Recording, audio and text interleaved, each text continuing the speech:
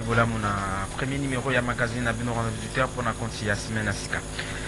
Voilà, devoile a devoile ba grandes lignes ya programme na ye pe budget justement oyo ako estimer yango na 92,9 milliards de dollars pona cinq prochaines annees. Wana ba declarations ya madame Judith Suminwa, toko beta lisolo na yango na tongo ya lelo avec ba axes oyo atie lokola priorite.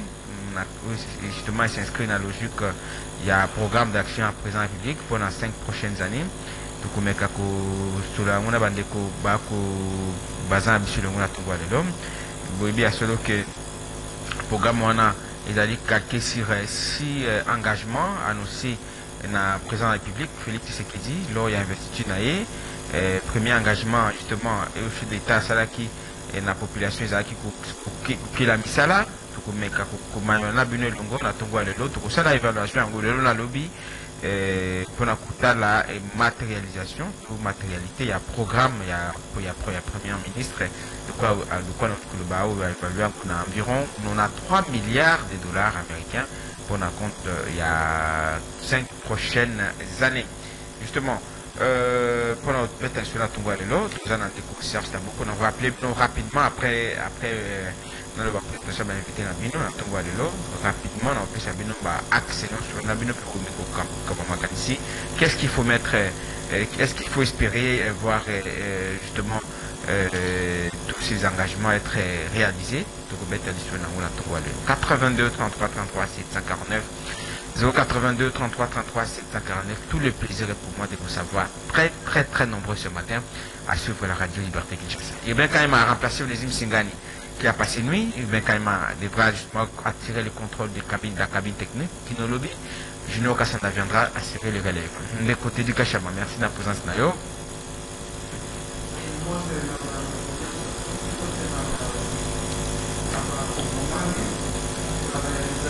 na bato nyonso tu oyo euh, je répète ba auditeur nyonso tu na bandeko na biso ya youtube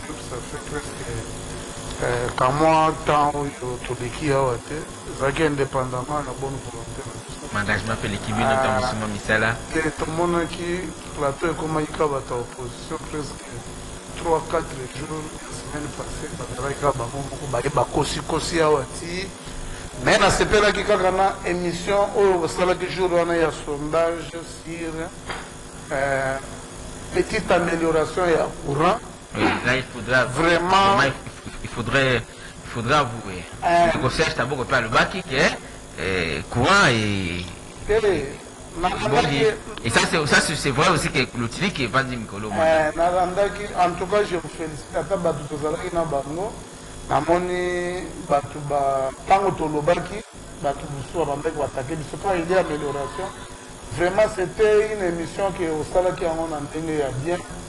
malgre ba osalaka emission kaka na ndenge ya bien ndeko malgre ba Delicatio. mosusu babandi olinga babenga ba oyo ba traditionnel balingaki ba babenga mais sondage ezalaki kaka ya ke il y a une nette amelioration ya Toyoki mpe ya ke ba, ba vraiment. disjoncteur eye, ba cable eye mpe eh, loi ya liboso dejà ba receptionnaki yango. Eh, Vendredi toyokaki.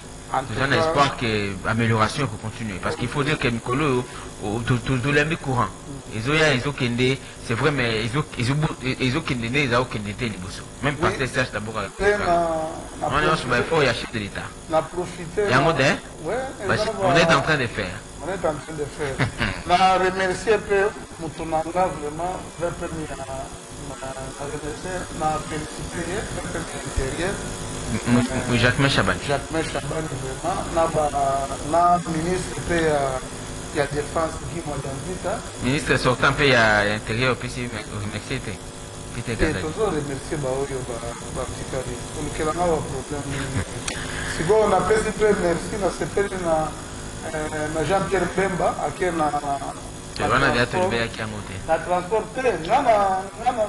natikali koleka te depuis gouvernement eza problème te ifale obenga ifale kozwa plateau spécial obeta lisolo ya gouvernement ordre na secteur wana mais merci mm, merci beaucoup na défense merci beaucoup de côté du kachama dio ya tout le lundi ndeko pasteur serge taboko mbote na yo merci na présence na tongo ya lelo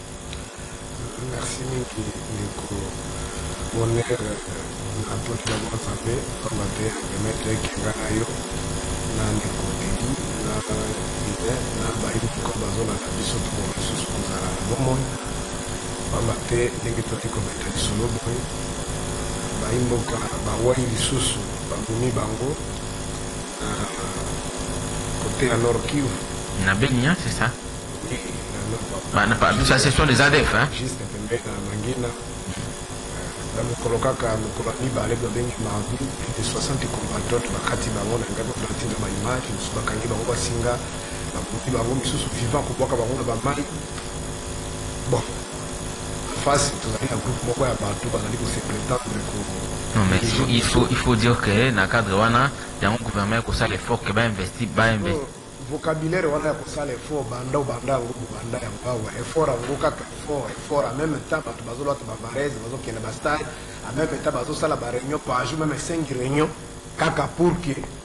bakombo na bango ezala na kati ya gouvernement soki gouvernement bimi te misusu bakomi koutilize meme ba indicape mais oyo esengeli bato basala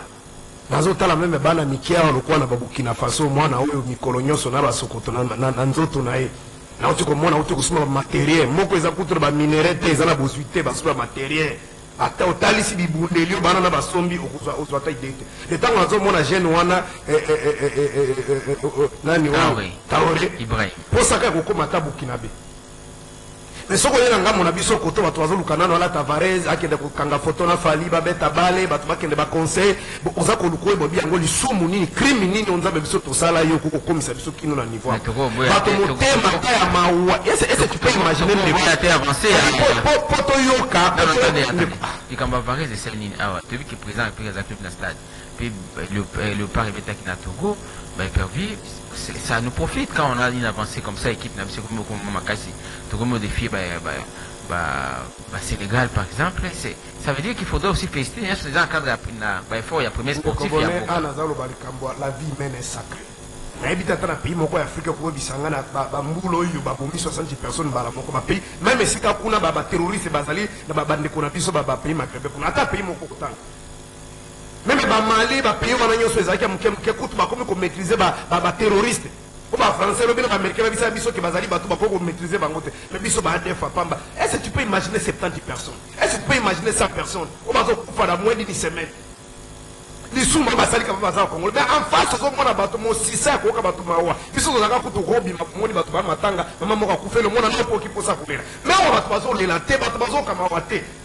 Bato baza na makoki ya kofuta billet akende kotala match, akende kotambola mais billet ya kokoma esika bato bomi bato, bato baza na mbongo wana te.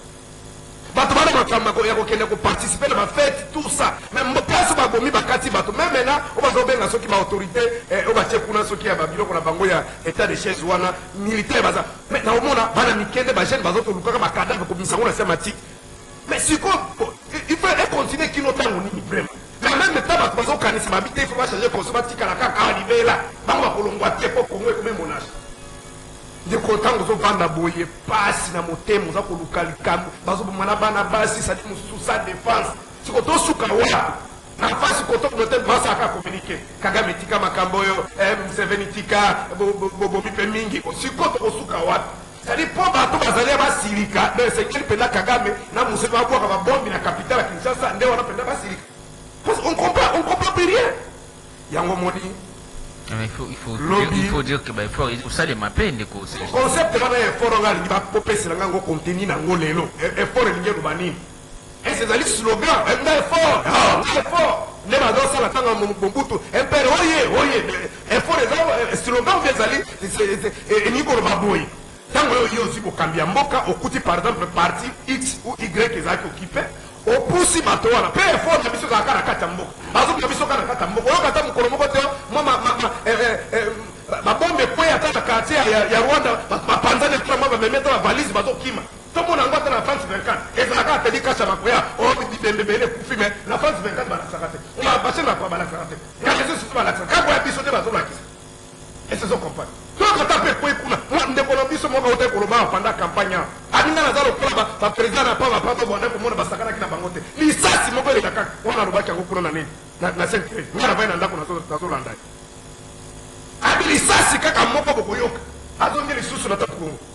Sikoyo ozo zela masasi esala ebeta combien? Po ba ndeko na ngai bazali ko kufa boye ba innocent ba pauvre mosusu aza na ba bomi ye na nzala na libumu yango omoni a d'abord to koma le 30 commandant du peuple patrimoine commun ya koloba mais mokolo alobi elekaki secretaire general na biso Devos kitoko azalaki na sensibilisation lobi azalaki na tozalaki na changu pona ko sensibiliser bayi mboka pour que trop trop trop c'est trop pour que tokoka ko stopper eloko oyo parce que tozo fe na kati ya cauchemar ndeko soki ozokanisa kaka bato otali omoni moto banome président ya assemblée nationale olie asolo na badepute ye akoki kosala bareunion na baoyo azobenga badepute na kati ya misike bakoki kosala bareunion parallèle nayebi te ata na pays nini na monde makambo esalema Ndeko Teddy Peshamu. Donc merci na bandeko ya Changu, la lutte continue, je crois dans un avenir proche ici, ekozala pour toute la République pour que tokoka kostope bandeko oyo baoyo bazali compétent bakoka kozwa bokambi ya mboka oyo. Merci beaucoup. nayebi te soki na vie ata bible ezala babanda na ancien testament baye kosukaka na nouveau testament mais oyo politicien depuis ye aya na politique soki une annee et trois mois oyo aza kaka na discours moko chaque semaine et il est forme une annee et trois mois oui azalaka awa na liste politique ah, okay. azalaka awa na liste politique tobandela na ye ki ki ki opposant yango oyo ye aza kotanga kaka une annee et trois mois toujours le même discours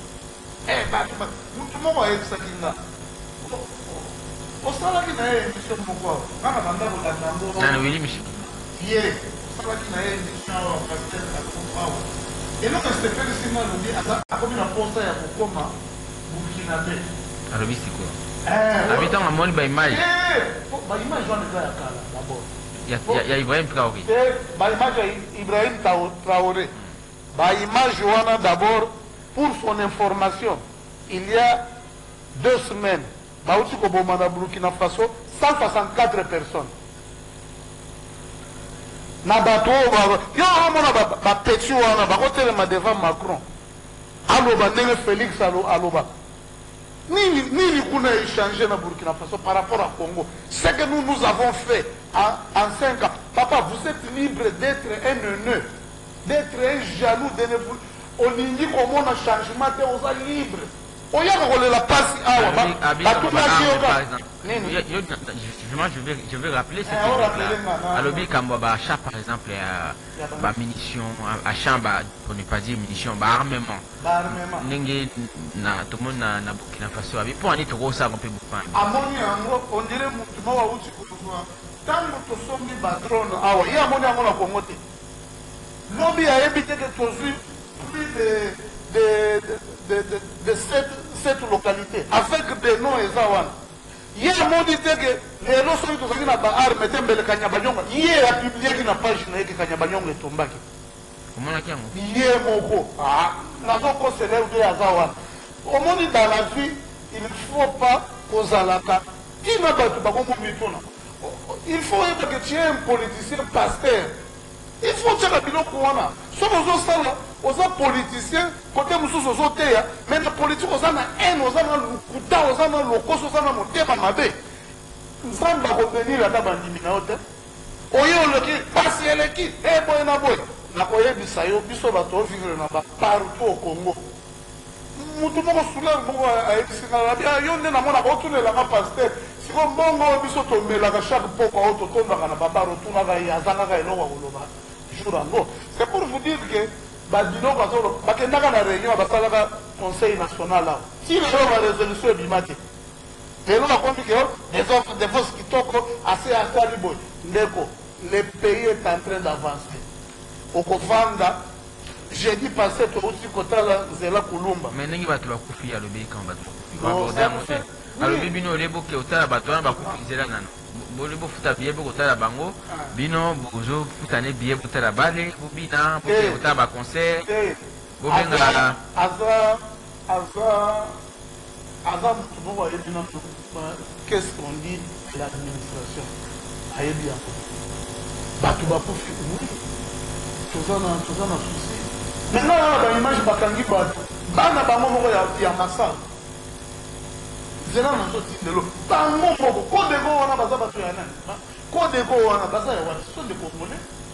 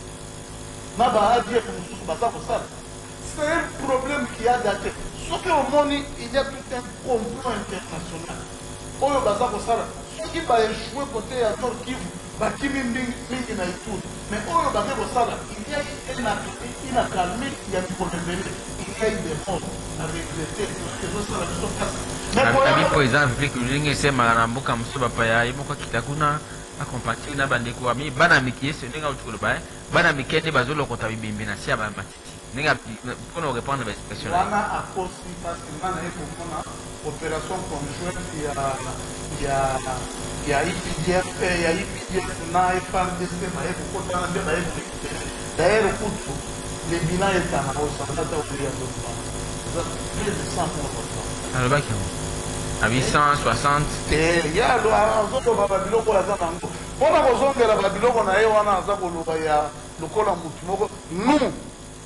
on a fait cassette d'abord eh, nani regime ya bato tozongelaka makambo moko tokoya te tolobi likambo ya sika te baloba ndenge nini baza kosorganize na kati ya parti baloba ndengeabikomanaaki mpe aloba le 30 ah, eh, aloba ata babiloko wana aya koloba soki ndenge nini abetaki bango 12 bango bake te bake na, na baélection te ye fayulu akendeki na baélection baza en perte de, eh, de, de vitesse aza kolobela bato mpo na ba Ba deputes ke bake kokutana est ce que c'est interdit par la loi? Kamerhe akende kokutana na ba deputes omoni yango omoni batu balobaka il faut kobunda na kaole papa biloko nayeli koloba eza ba effet oyo eza semaine prochaine bazobanda route ya contournement ya Mutende mais jeudi tokendiki na DG ya OVD na na nzela ya de la paix eza kokende kobima ti kote ya Lemba Yves baza kosala yango dejà tokende kotala totinelo ba image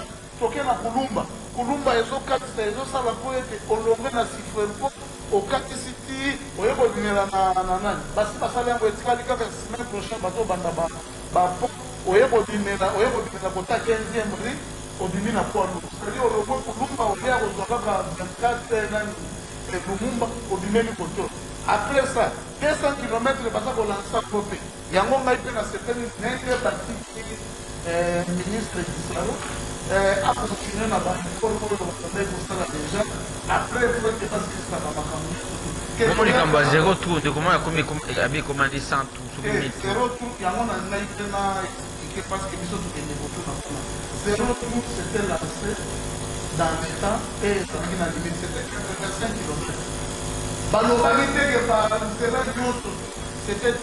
pour six mois 32 millions de dollars 85 kilomètres seulement mais actuellement bayaki kokumisa yango bayaki kokomisa yango ekoma perpetuel ezalaka wana en permanence yango financement esukaki na na na na 85 millions na non non ezalaki 32 millions ntango babandelaka yango basala mosala ya 32 millions wapi oui basala yango soit neti omoni na shaba kwa ya shaba na ngiringiri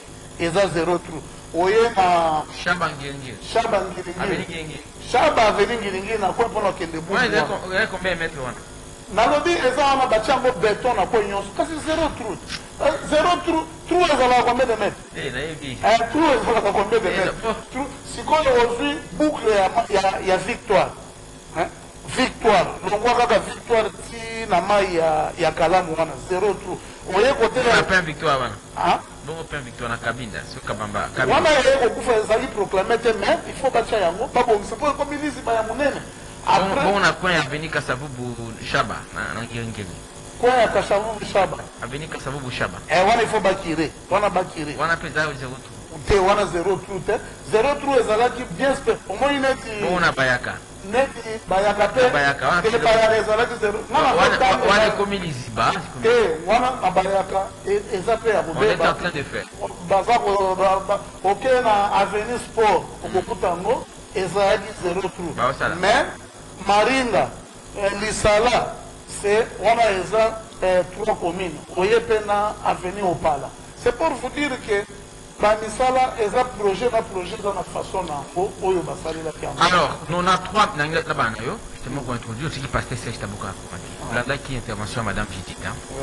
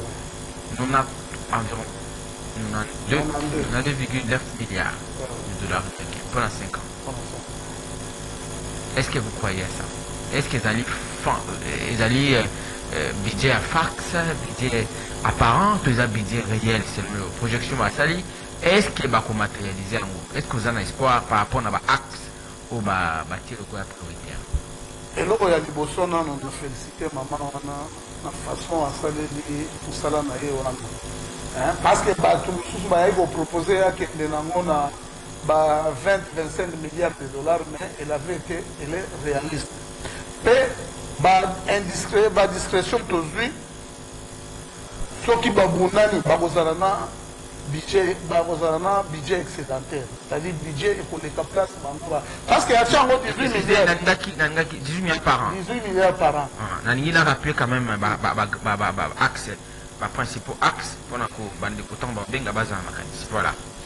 euh, axe, euh, axe ya liboso na terme ya premier engagement ezali ezali six engagement hein, oyo président anosaki na nini na ma investiture na ma investiture na premier engagement chef d'état asalaki eza pona ko créer ba emploi c'est-à-dire ba accélérer promotion ya entrepreneuriat notamment ya ba jeunes ndenge balobaki pe euh, ezali moyen ya kosala approche euh,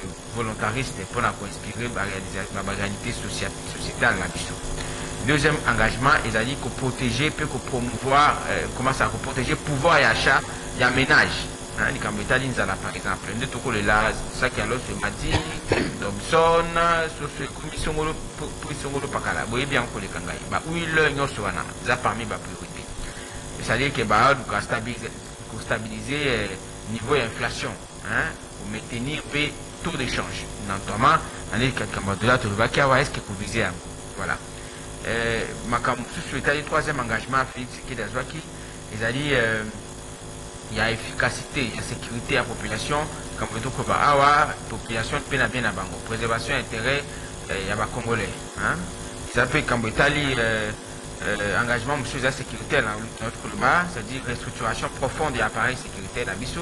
défense mpe poursuite ya renforcement ya diplomatie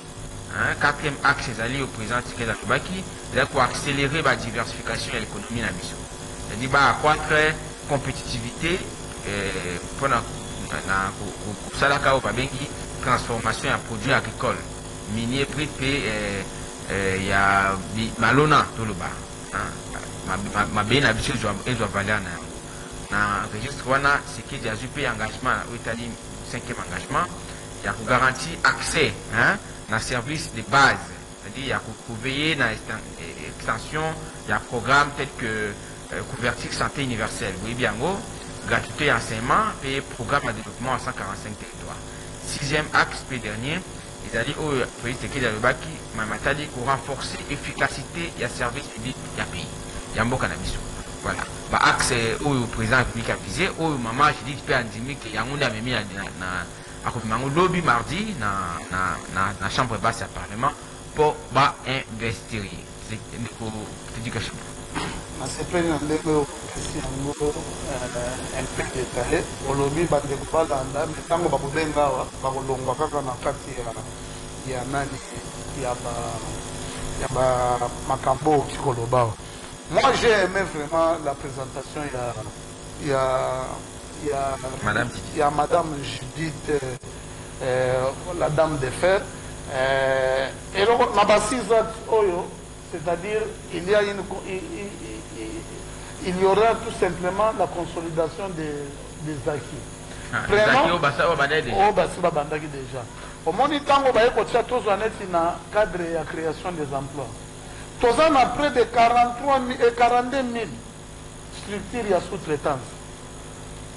eza ko evoluer dans l'informel. Soki oke surtout na secteur ya mine, okokota batu pe eza occuper kaka na ba etrangers mingi mingi. Toboyi yango te mais il faut ba nationaliser ba structures nionso wana tout. Namonaki bawutaki ko suspendre, felicitations vraiment na Miguel, awutaki ko suspendre Kashantuale oyo azalaki chef na yango, awuti ko suspendre na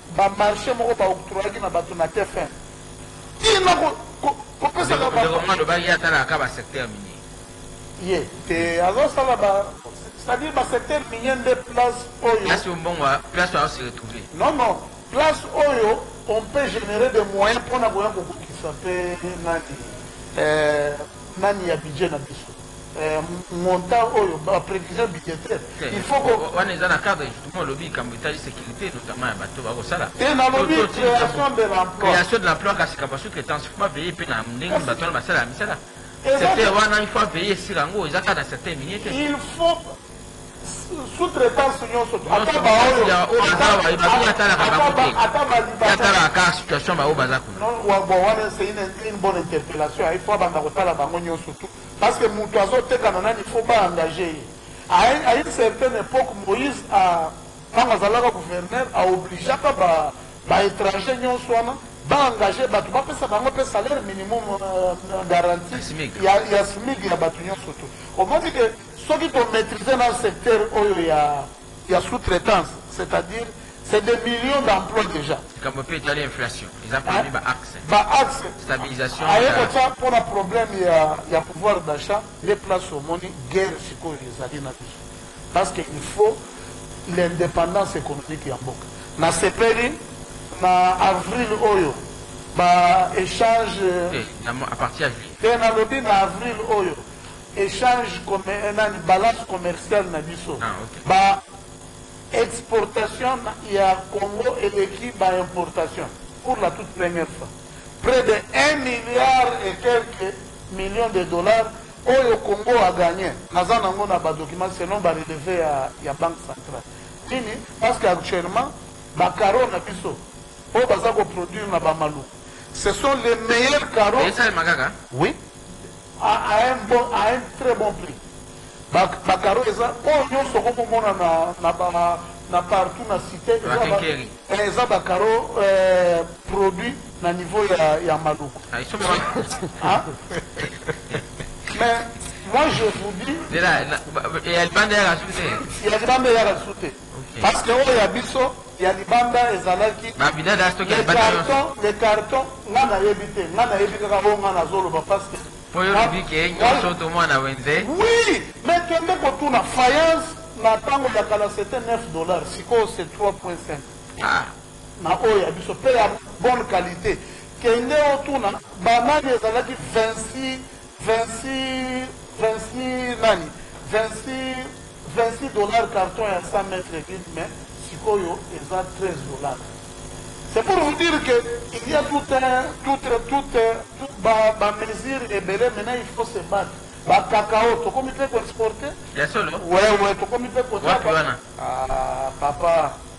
Yo oza journaliste moi je suis entrain je suis responsable de ce que je suis entrain de dire nayebisi yo que na ba oyo bawuti koloba pona problème ya ya pouvoir d'achat il faut tokoma na ba structure purement congolaise fake ya kala obanda komona ba papa Jeannot Mbemba paix à son ame ba Lusakivuana ba Ba oyo nani ba kansebu c'etait il y avait aussi des banques purement congolaises sikoyo toza na yango te tokomi na ba abedachou tokomi na ba simempex tokomi na batu mususu wa c'est pour cela president avait dit il faut se battre pour l'independance economique ndenge ba jeunes ebele bakomi kosala na kati ya entreprenariat baza ko financer bango mongo à partir ya ministère de l'industrie donc olobi to to tondimela maman Judith avec 90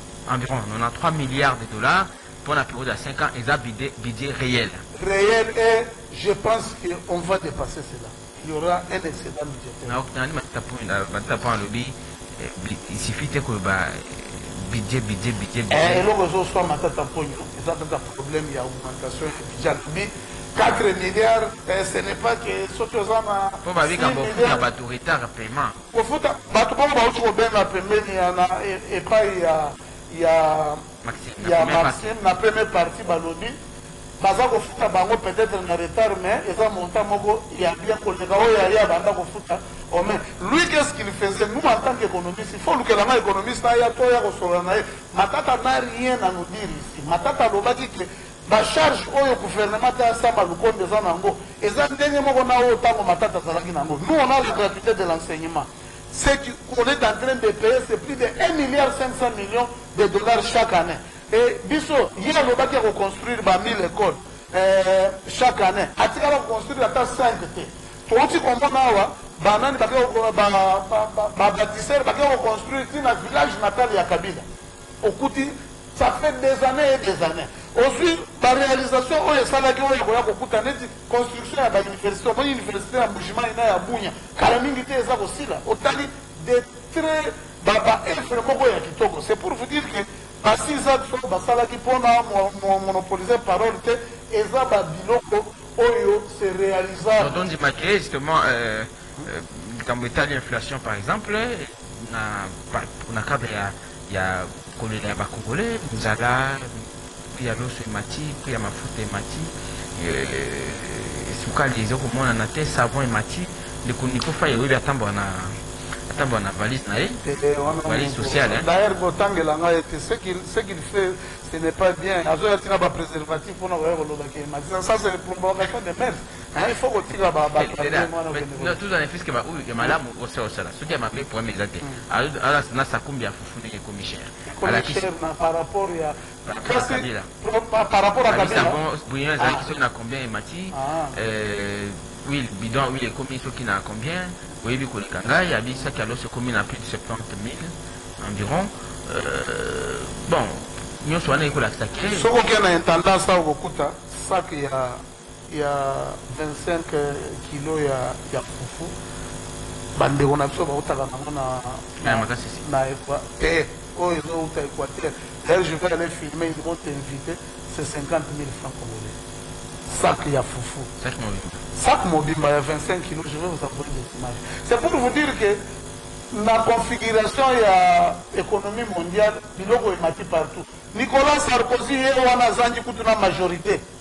Balobi nzala eleki na France mpiaka carburant emati par ci par là kuna batu bazokoba. To esperer que gouvernement ekozala investi lobi et ko apporter solution. Nakoyaka awa. Merci. Nakoya koyebisa bino que tosuki wapi. On a cree ba unite ya production ba biloko ebele mama wana bakosala yango parce que j'ai la foi j'ai la, j'ai la confiance ya bato oyo baponi kuna c'est de la qualité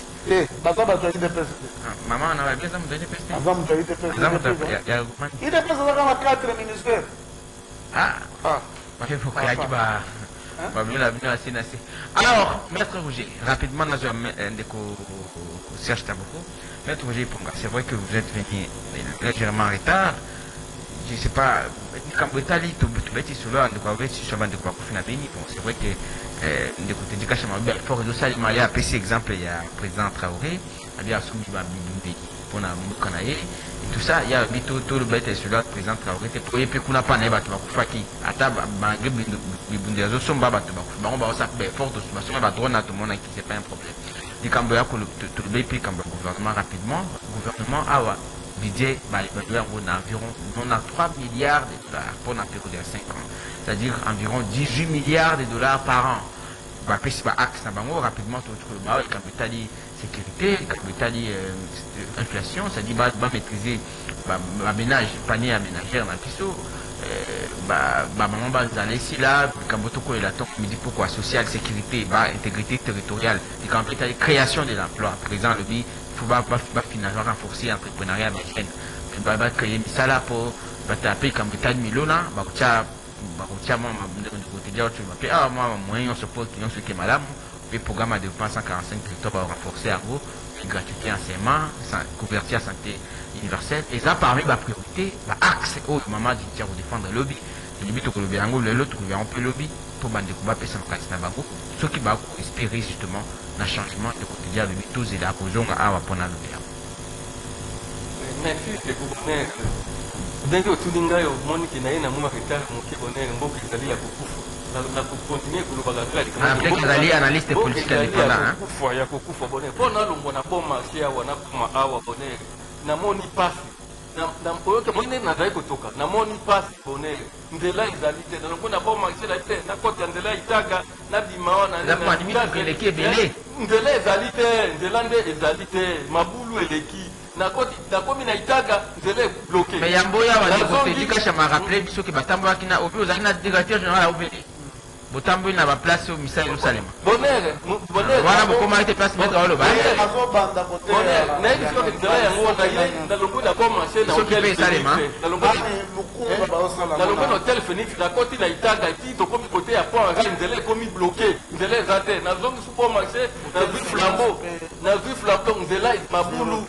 mabulu ezali na mboka mabulu mais ntango mabulu ezali na mboka obi zero trouba ezalaki na cadre hotel phoenix Na wana na hotel Phoenix wana oyo batia beton wana ezalaki mpe zelo te. Ah, esalemaki eh? eh, eh oyebi ntango na koya na nzela na kanisa nini ntango mabulu etondi na mboka boye soki bato mosusu na mbongo ya leta bakolesa basi na bango bakolesa bana na bango mpo kongo eza ya bango kongo oyo ezali ya bango yango wana bango ifo bazala malamu bayiba mbongo nkoma mboka nakumbaki motu moko na nzela moto yango mpe aza médecin metokokoma nzela mboka ezali nzela ezali te mboka mobimba itanda nzela ezali mpo nalongo nasali Na liboso liboso tango ya kala na ko bengaka nga alobi maitre yaka donc peut etre 10 minutes maximum maximum na komi awa mais na sali plus de 45 près d'une heure du temps po na longwa kuna donc ko lukaka ba nzela ko kota ko mais finalement mboka yango eza ndenge nini et soki na kanisi kaka ke moni eloko mosusu epesa kanda ke Mbongo ezali na mboka bato bako yiba yango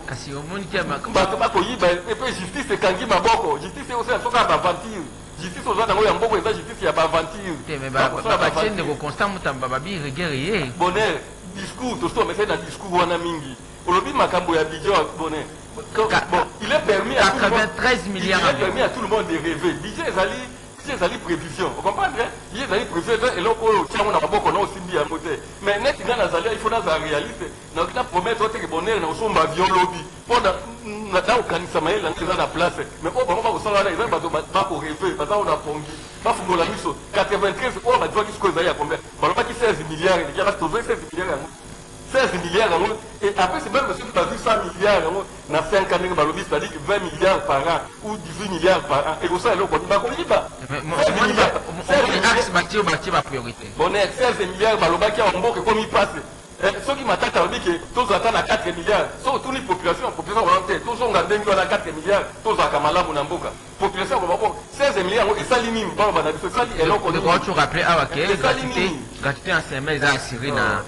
Ba ba seke ba seke ba kolela ba sema ba pe kozwa 80 dollars par mois eh, 80 dollars par mois afuta ndako eh, atangisa bana na ye afuta transport 80 dollars par mois ekosala eloko nini bonheur à peu près 200 000 francs je pense 80 dollars ezala combien à peu près à peu près 200 000 200 210 000 bonheur ekosala eloko nini atika biso ba discours pamba wana wana wana bango nyonso baza ezali ba discours et peuple bon eh, oso peuple pe kosouffrir Souffrance pe efungola bato miso. Peuple ya Kinshasa il faut a souffrir mua ndambu ya Congo po efungola ye miso po jusque là azali na pongi. Mais ndeko ndeko a rappeler ndeko a rappeler awa likambo etali ba nzela par exemple programme ya defense ya 145 territoire ba ba construction ya ba ba ba ecole construction ya ba ba ba bureau administratif na makambo mosusu esalemi mua mingi pe na mandat eleki balobi ye alobi awa to resume intervention ya mama Judith oyo asalaki ntango akutaki na ba depute pe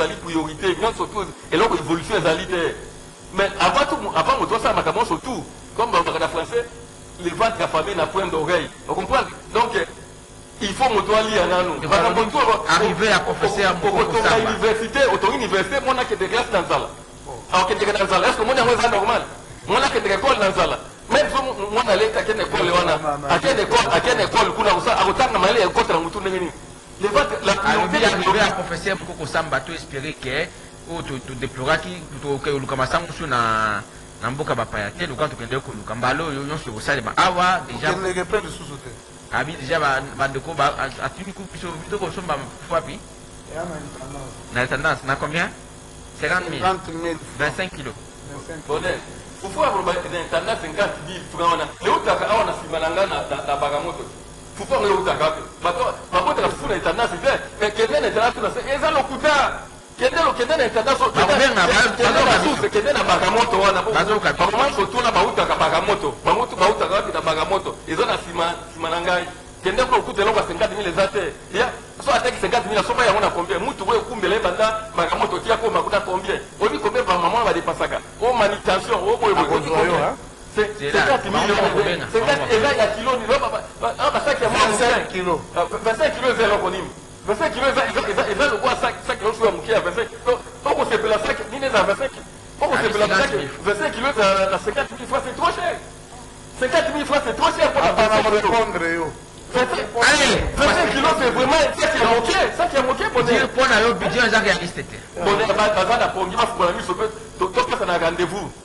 lelo toza tozwi moto lelo toza akoinvesti lobi le 12 lobi le 12 tozonga na tozonga na ngana après une année une année kaka okangi na tongo na so totaliser ata 10 000 10 milliards tongo na so otoele 10 milliards tomona yango bote mais bon de toute façon budget ezali rêve okomprendre ngai na considéraka budget lokola rêve c'est-à-dire moto olali olobi ke ngai na besoin na réaliser ba recette na ngai ezala autant okomprendre olali olobi ndenge wana mais faudrait-il encore orealiser yango dans le concret dans la réalité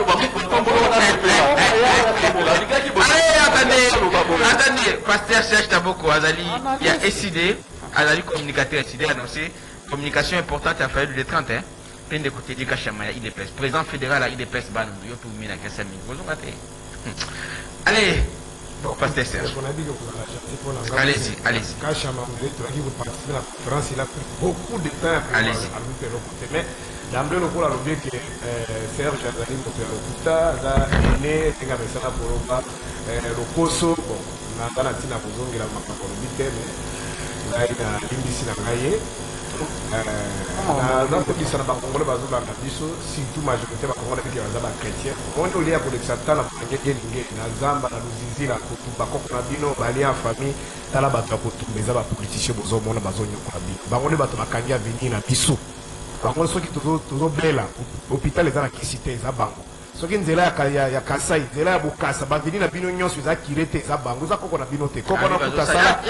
asala effort makambo eza biloko azo sepesa monoko na ye bakongo ba biki nzela ezali te soki mbula soki enuki omoni ndenge ezalaki awa komi na Kinshasa meme bombe eza ya kozinda moi je n'ai pas fait des incantations aza kosala alors tango azo traite nga lokuta il faut aloba okosi na likambo boye nga oyo nazo sala nazo sala nazo sala nayebi ke na kati ya motema na nga nalobaka d'abord chaque jour nde naza bo nabondelaka mpo na bato nyonso ezala mpe ndeko felix nabondelaka ki nzambe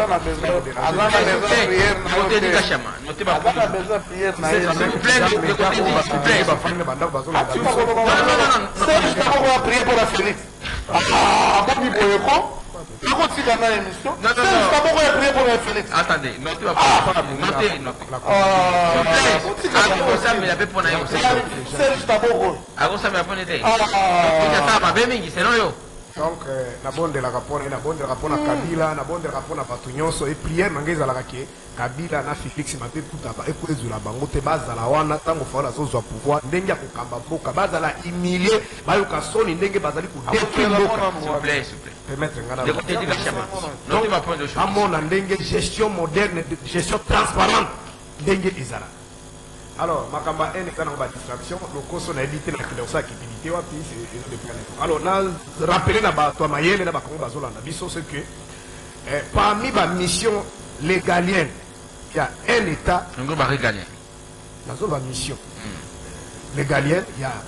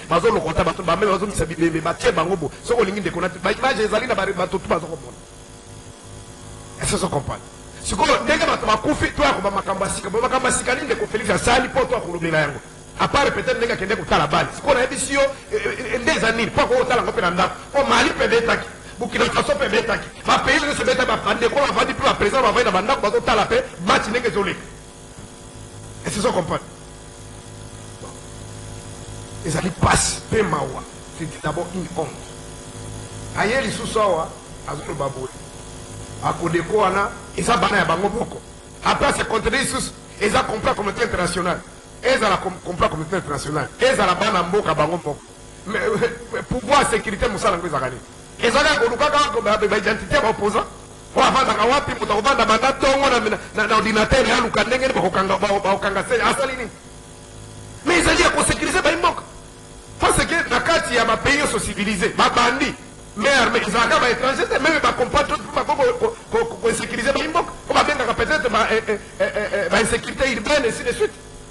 bosiko bino soki bokosécurise mpo baza bana mboka bo totiki bango baboma bato mpo baza bana mboka soki ba étranger totiki mpo eza kompako peut-être asiko bino bozosala nini eza soni eloko mosusu alobi congo ekomi ko exporte kakao tika kodistraire bazolanda biso tozali bazolanda biso toza ndirect congo ekomi koexporte vous dérangez monsieur congo ekomi koexporte kakao Bon tozali ko produire l'an combien de tonnes pe to exportaka yango na ba pays nini tango okozua maloba na suka oko tiro expliquer ngai combien de tonnes toali ko ko produire pe toali ko exporter yango na ba pays nini uta he ake lisusu ndeko na ngai ezali pasi pe mawa olobi makambo ya ba engagement ya mama wana Olie nanu akoma makambo ya ba engagement koma koma en plus bon eza kaka po musala bino ba journaliste ya kopozaka mituna ezali moyen to to to toyokela bino kanda ezali te mais ndeko Felix awa na parlement alobaki ke ba avion 8 esi esombami na 2020 boza komona eza po eye kobakisama na faute ya kala ba omoni tokende nao siko tomona ba avion yango 8 tokanga yango foto ba kongoli bamona alekaki awa te Oyo dejà nanu asi asalaki ya liboso le precedent eza wapi? Eza baki. Baki baki na, na, na français facile dans la gestion moderne likoloba nini? Makambo malamu esi esalemi nde babengaka ki. Batie gratuité na kati. Programme ya développement 145. Ntango azobeta omeme lisolo ya gratuité alobi eh, matata azokosa mpo biso mbongo ebele ezokende na gratuité naza korapele na ye soki azobosana te dete publique lelo toza konage presque plus de 10 milliards Est-ce que biloko na bino lokuta ya gratuite d'enseigne wana ezali financer na, na, na fond propre? Est-ce que gouvernement na bino ya Sama Lukonde nde adisposaki 2 milliards ndenge état de, de lieu esalemaka na avant bo bo bo bo appliquer ba bo appliquer biloko na bino ya gratuité d'enseigner et mairie okunja azalaki na basala que état de lieu babaki que pour que gratuité d'enseignement ezala effective et esengeli ba disposer na ministère sectoriel au moins 2 milliards oti komona ndeko nde nalobaka mikolo nyonso mpo makambo tunga nalobaka ndeko bonene na biso nalobaka bosiku Nayebisaki yo ndeko wana Tony Mwaba nga na mona ye na procès ya Sai Sai nakanisaka moto ya mayele mais a decevoir nga nalobaka omoni batu kolongola omoni basali ba nzembo omoni bayembeli se makambo tu nalobaka ata moko ndeko Felix tango tokobotola ye pouvoir awa okomona ndenge fete ekosalema na Congo parce que batu ebele bazobanga kaka nde baboma bango bazobanga kaka nde liwa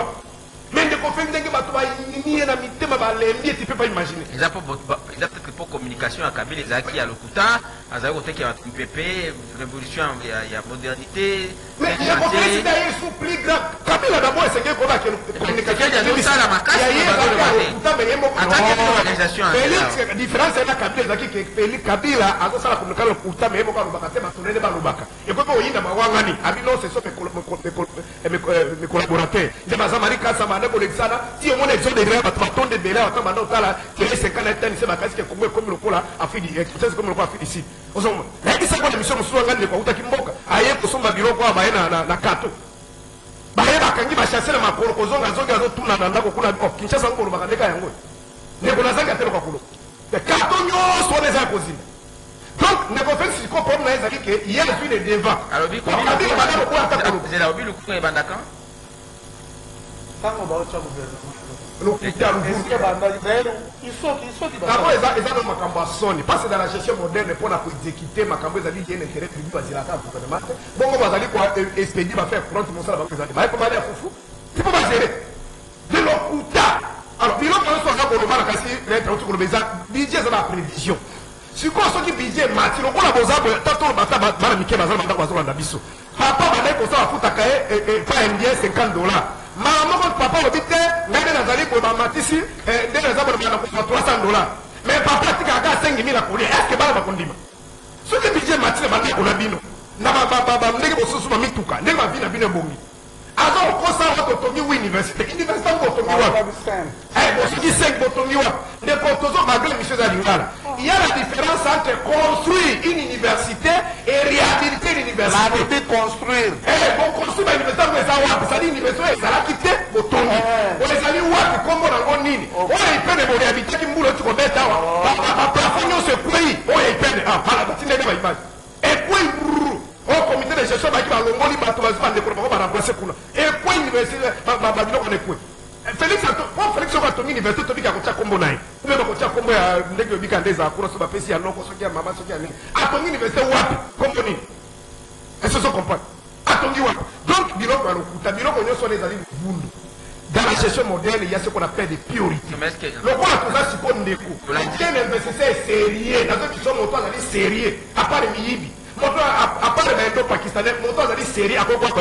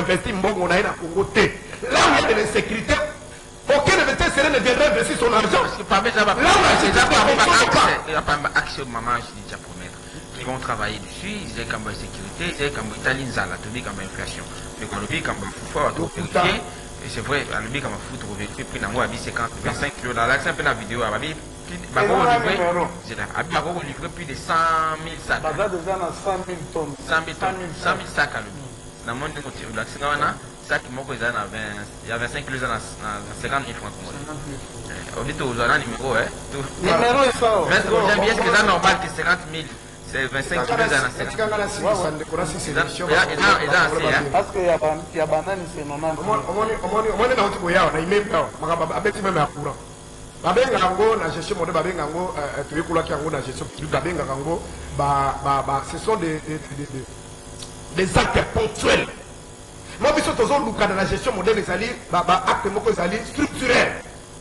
sadi osali likambo etikali siko biloko azo sala wa kabila pa salaki yango na batu na ye na basombi ma masangu bokende kosomba masangu ba wana ya ba soda boye boye esu kuna toko tekela ka ba soda pona ko distraire ba ndeko na ba ba ba tombuka te ba mona ke vina bango ebongi ce sont des faits moko ezali ponctuels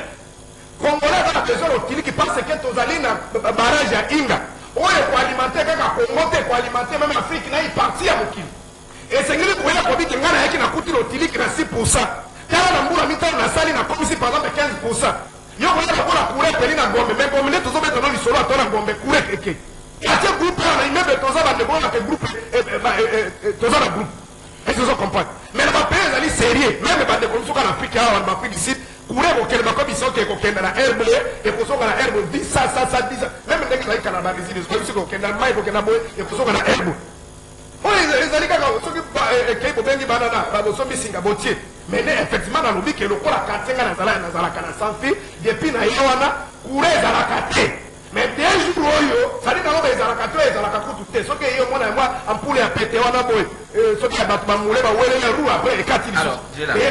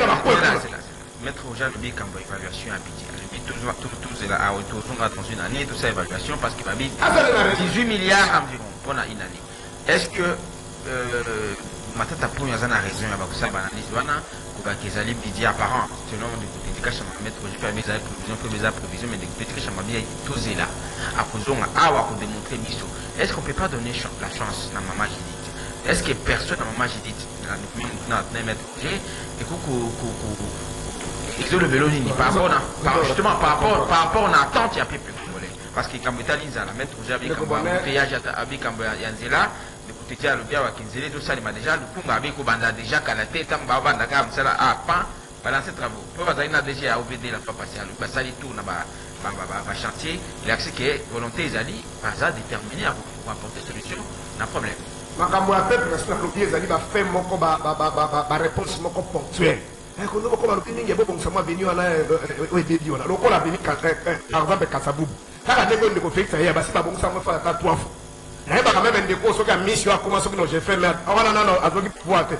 tozalaki awebi ah, émission tosala nao kuna le tozalaki kuna malgré ye abenga eh, eh, alobi le wana ngai nao nazalaki na opposition te mais oyebi problème ezali te nasali kaka un mois tosala émission ndeko wana nazotanga nkombo na ya misa bandaki komenase kala nani kamere parce ye moto aprésidaka projet wana alobi atomboka na biso tosalaka oyo tosalaka tozalaka na ye donc ndeko na ngai mama nakosala eloko moko te parce que mama wana aza korepresente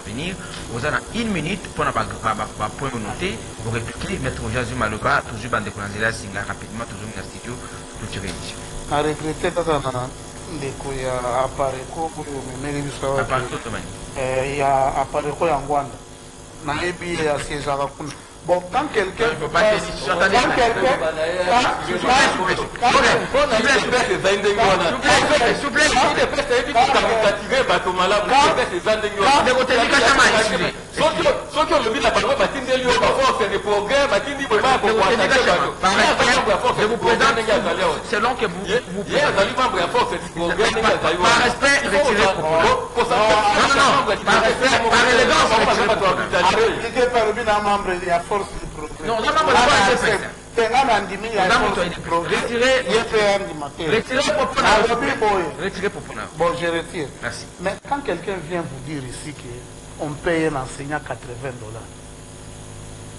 d'après ata biso sur une chaine oyo ya niveau oyo est ce que omona ke moto wana aza analyste politique 80 dollars et il confirme alobi oyo nakoteli boye nakoti Vous savez, Des amis de la province, oui. na province wapi Mais je te le dis.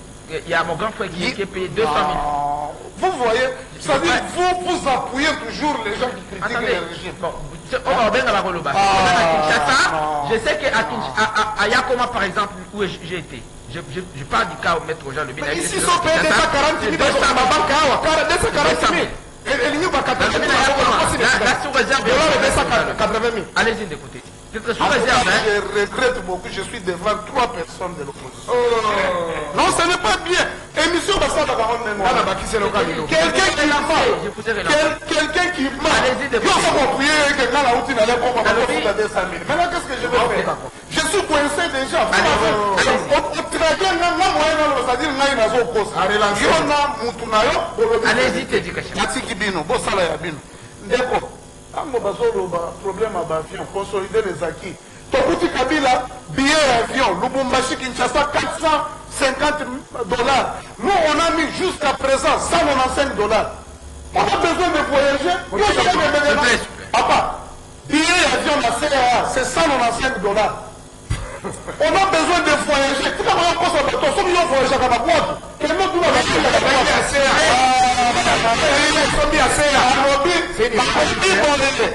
Le problème un état c'est de omoni carburant oyo notre état subventionne ça ailleurs na France le litre c'est à 5 dollars à 5 euros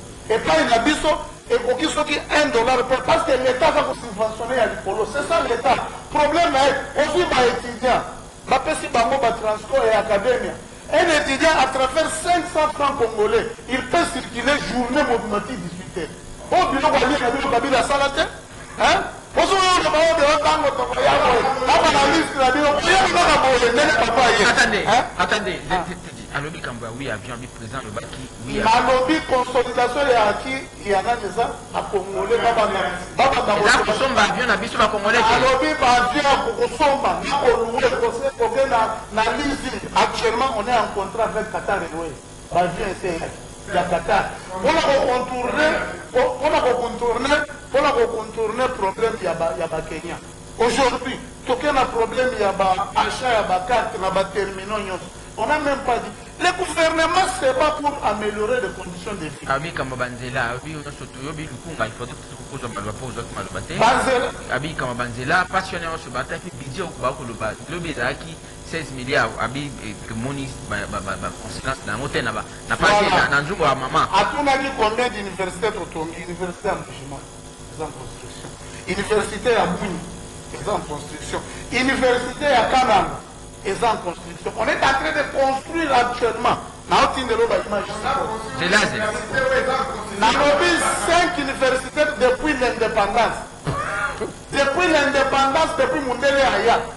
Ata na liste nayo kowangana yango te ozui ozoya koloba ke oh ba nani ba ba effet ya ya sama lukonde toza na ora no profonde ce sont de de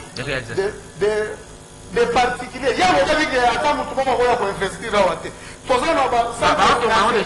oui c'est en construction dans le plus de 3000 Travailleurs baza kosala kuna hein? Na nani? Oke na oke na oke na centre oke na centre papa ata aeroport ya Washington c'est pour un privé Boeing c'est pour un privé soki oyebi te kende ofandela ba bible na yo na ba nouveau testament papa nazwi usine ya montage ya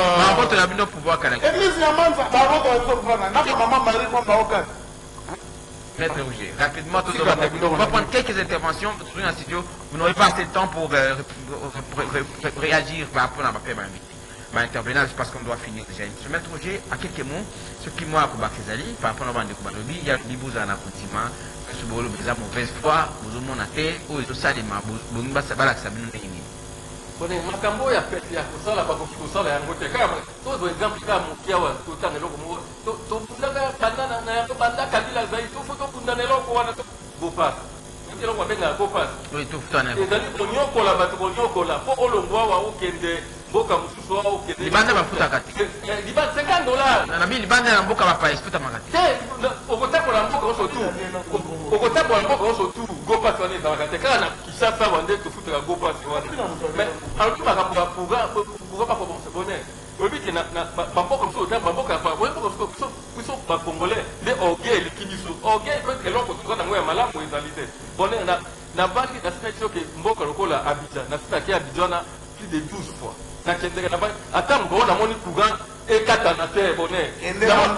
na mona na mona courant bonne na mona kueto na mona na vanda ka botila pia sia mboka na kenda libreville na mona courant ekata ni mbala moko pendant au moins 3 minutes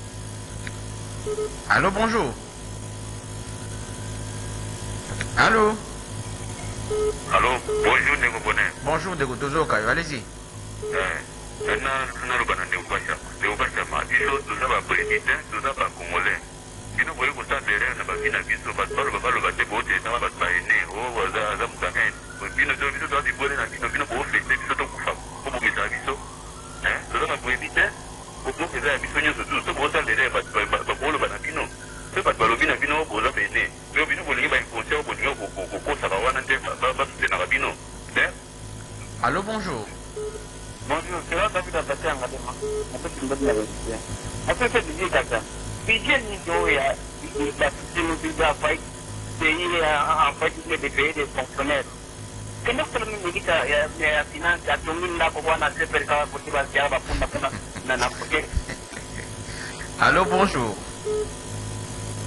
Allô Allô, bonjour. Allô voilà oh je suis désolé. Interférence réseau. On va prendre quelques interventions de cas parce qu'il y a, y a une saturation. Allô Allô Bonjour, Deco. Euh, vraiment, nous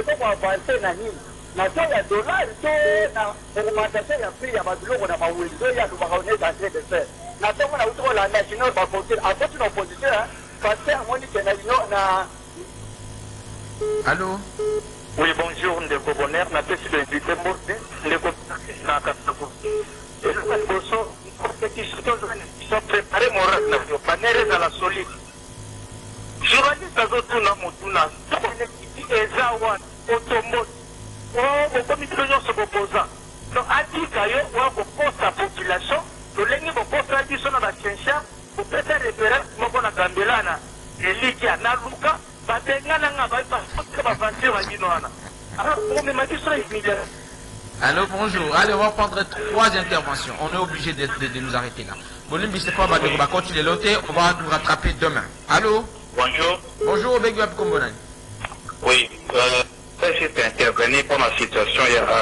ya fufu ndeko Teddy kashama alobi donc en fait si vous prenez 50 kilos vous divisez par 50 000 francs ce qui revient que 1 kilo coûte 2000 francs donc c'est trop cher ye akobetela yango tolo te ke donc sac ya fufu bazoteka yango 50 000 francs c'est trop cher parce que dans ce pays oyo toza na mabele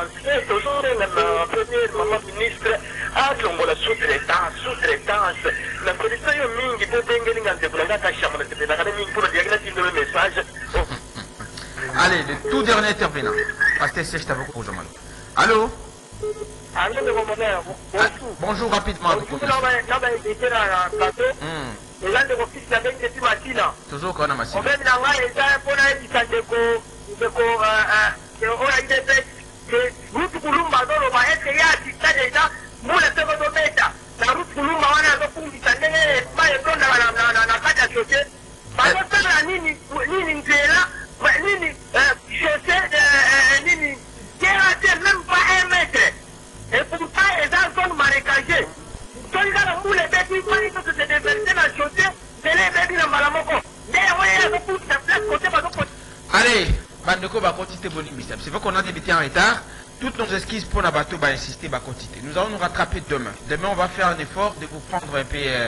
euh, à temps pour que bo intervenir bo pesa makanisi na bino alors ndeko pasteur Serge Taboko on est obligé de nous arrêter là c'est vrai que surtout continue na bango na esengo na pesi mpe bandeko nyonso oyo babengi mbote no bazwi makasi ya kobenga te esengo na ngai ezali eke bandeko mingi bandai kobenga kosoutenir par matondo atikali ye moko nayebi ke baemission ya nsima ti ya kolimwa na ye pona kolakisa ko decourager ba ndeko nionso oyo akoki kobaka kokosa puisque bakosi bakosi bakosi and penda congolais nionso a comprendre que mutu oyo ndeko felix akotinda nini ezalaki liboso oh kabila oh ko nini oh toi ekomi constitution donc awa akomi na suka et biloko papa na enseignant awuti koloba awa nasi naloba yango c'est que c'est na juste na trois provinces congo central kinshasa na katanga nde bafutaki bango 370 pona ba enseignant je dis pas tous les fonctionnaires Mpo na ba enseignants 375000 ebaki kobakisa bango soki 25000 soki francs wana yango Eza mpo na province. Eh, eh, mpo na Trois ba trois provinces. provinces wana oyo ndeko Tony eh, mwa balekaki na top congo banga ba- ba- ba- baputana na- na journaliste wana amelisaki epema wana mpo ese do ya lokasa yango mbongo ebele donc elingi bake na mokuse eh, eh, mbongo wana eza valeur ya 140 dollars sikoyo kasha maninga avandi bapesa ye ka 140 dollars d'abord 140 dollars mpe eza eleki sadi 140 fo bakisa su 2000 mpo esala esala eh, eza kutu moke donc elingi koloba ke